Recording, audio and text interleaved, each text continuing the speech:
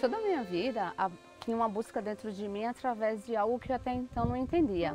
Meu lado profissional nunca deu certo, meu lado familiar também era muito conturbado e ao passar do tempo eu descobri que por mais que eu fizesse, nada acontecia diferente. Acordava, ia dormir do mesmo jeito, já estava ficando cada vez mais estressada, sem paciência, o trabalho já não estava dando mais certo, a minha vida espiritual nem existia. E daí então uma busca insaciável, corrente, para saber o que realmente estava acontecendo na minha vida. Por mais que eu conversasse com alguém, por mais que eu buscasse, eu nunca encontrava. Buscava ver em tantas outras pessoas uma diferença que faltava em mim.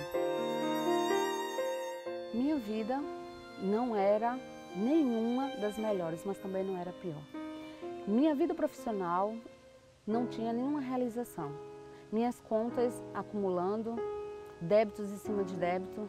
Por mais que eu trabalhasse, trabalhava o dia todo, trabalhava de segunda a sábado e mesmo assim não dava rendimento como se estivesse colocando todas as minhas rendas, todos os meus esforços num saquetel, num saco furado.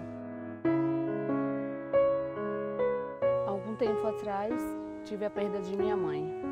Inesperadamente, aos 47 anos, minha mãe veio a falecer. E eu comecei a julgar Deus e a questionar Deus. Por quê? Jovem, 47 anos, por que deixou de existir? Fiquei cada vez mais deprimida. Eu tentei mudar meu estilo de vida, meu estilo de ser, e mesmo assim, nada diferente acontecia. Em um certo dia, parei, olhei, analisei e conversei com Deus. Tinha percas na família, mãe, vó, pai, tudo falecendo, o emprego não estava dando certo, por mais que eu me investisse, por mais que eu fizesse cursos, não tinha crescimento nenhum. E eu procurei comecei a questionar Deus. Deus, por quê? Por que eu sou filha? Por que eu sou feita em imagem e semelhança tua e mesmo assim eu não sou feliz? A felicidade não batia a minha porta. Por que essa, esse oco dentro de mim? Não sou a melhor nem a pior.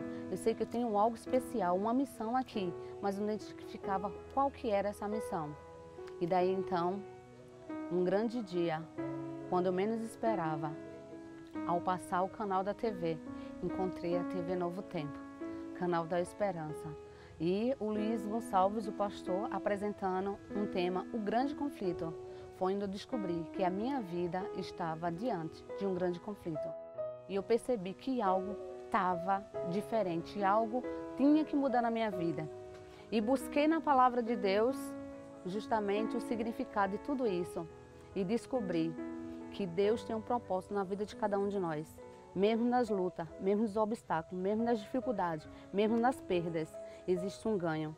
E através das programações da Novo Tempo, eu descobri que mesmo tendo tantas lutas, tantas dificuldades, tantas perdas, ainda existe esperança para cada um de nós. Esperança numa vida eterna, esperança numa vida profissional, esperança numa vida melhor, numa vida realmente transformada pelo poder do Espírito Santo de Deus. E hoje eu posso dizer, sou uma pessoa completamente transformada, porque a TV Novo Tempo conseguiu transformar a minha vida por, com tudo que eu tenho, por tudo que eu sou. Eu agradeço a Deus primeiramente e a todos vocês que fazem parte da TV Novo Tempo. Através da oração, da meditação, da confiança em Deus, da força de vontade, pude realizar todos os meus sonhos. Hoje eu posso dizer, eu sou uma pessoa feliz. Eu sou uma pessoa que tem qualidade de vida, porque eu não saio de casa sem entregar o meu dia, sem entregar as minhas atividades nas mãos de Deus. E Ele tem feito coisas grandiosas, como a própria Bíblia nos diz. Jesus é o caminho, a verdade e a vida.